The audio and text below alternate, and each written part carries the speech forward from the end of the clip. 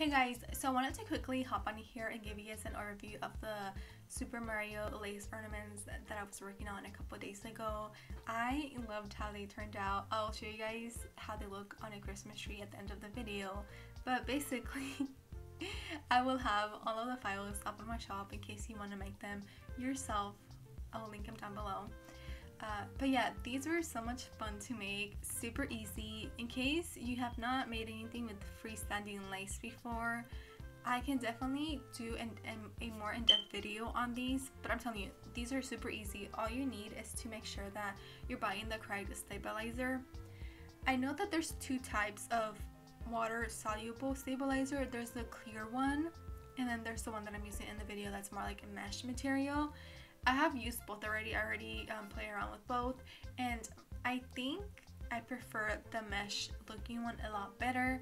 Once you um, put it in water, it just it dissolves so quickly. It doesn't leave any type of goo where with the clear one. I feel like there's like some like adhesive I guess or some like gooey stuff left over that I don't like. So I definitely recommend the mesh water soluble one. But yeah this is how it looks like in the Christmas tree I'm telling you, they came out so adorable. But yeah, if you want to see more into video though, I can definitely do that for you guys. But yeah, anyways, I'll see you guys on the next one.